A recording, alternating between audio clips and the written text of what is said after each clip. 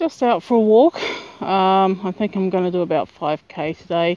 I might do some running as well, but I need to have a stop and I need to just suck in and look at this beautiful view that we have. It is truly just absolutely fabulous. It's a glorious autumn day.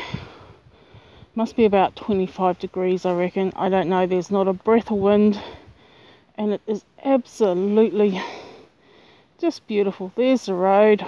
I've just stepped off the road just so I can be in the shade for a bit. And there's the mountains, and that was my tracker. So I hope you enjoyed this little video, and we'll see you later. Bye.